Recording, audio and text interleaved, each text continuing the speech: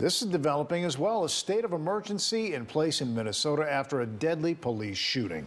The streets are tense and a curfew will start in one hour's time. Yeah, that's at the video that's at the center of all of this. Daunte Wright's death sparking angry protests just 10 miles from where George Floyd was killed. WGN's Brona is joining us now with more details on this particular case. Good evening, guys. Yeah, Daunte Wright was just 20 years old. He was pulled over Sunday afternoon, seemingly for an expired license plate. Newly released body camera footage shows what happens next, and it may be disturbing for some to watch.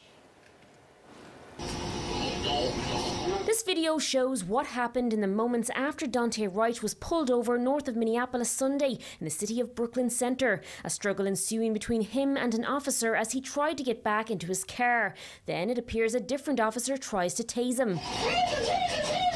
But fires her gun instead. Police Chief Tim Gannon speaking today on the discharge of that fatal bullet.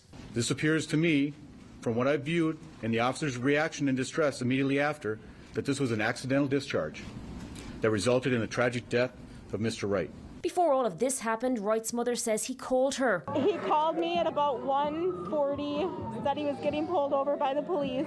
She heard some of what was going on, but that call was soon dropped. When she called back, she says she got the news no mother ever should. And his girlfriend answered, which was the passenger in the car, and said that he'd been shot. And he, she put it on the driver's side, and my son was laying there lifeless.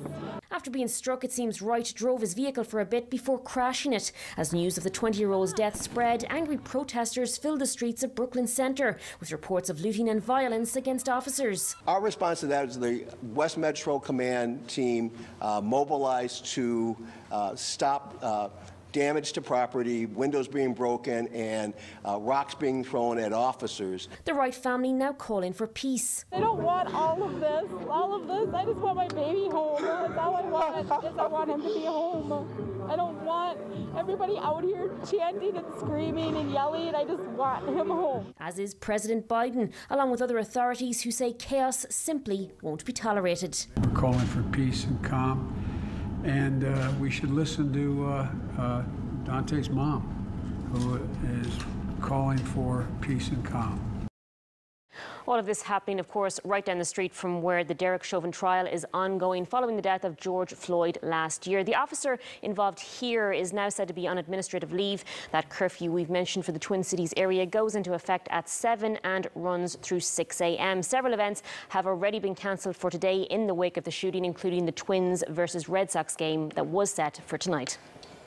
That curfew in just a few hours. Thank you, Brona. All right, and let's talk.